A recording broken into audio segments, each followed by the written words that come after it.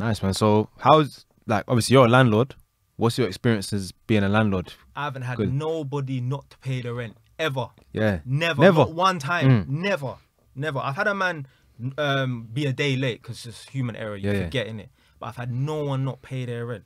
Mm. Because when they come to my property to view the property, it's not necessarily for them to just view the property. Yeah. It's for me to view them. Yeah, yeah, to see So when they come, I tell them within the first five minutes, yeah. Let's say the room is four fifty, yeah. It's four fifty, which is one month's rent up front, and the same value as a deposit. So you have to give me nine hundred. Hmm. Yeah. If you fail to pay the rent, I'll serve you a notice. You have to leave. If you're afraid to tell your prospective tenant that, then you've already lost.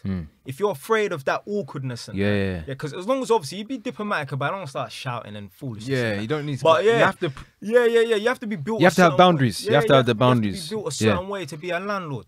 So when I tell people that, some people, let's say for example, I get 15 people through the door, they will say, "Oh yeah, yeah, yeah, uh, I'm just gonna go and look elsewhere." And that. I think, you know what, I don't even want to deal with this landlord. I've really, I've really, yeah, you 15 fil- you filter them out. You filter the them out. 15 or 15 or um, 15 man or 15 gal and that, four of them I would have lost. Fine, it's cool.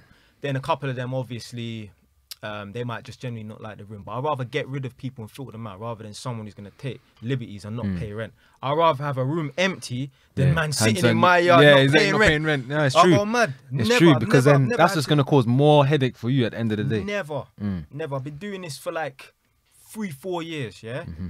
And obviously, I always have two rooms rented out and that. So let's say one month is actually two because if you got um, a, a property with two people in, every month is basically doubled in that because you got Yeah, one yeah. person in one room, one person in the other room. Yeah, of course, yeah. So let's say I've had like sixty months worth of rent or Mm-hmm. eighty months worth of rent. No one's ever not paid the rent. Never.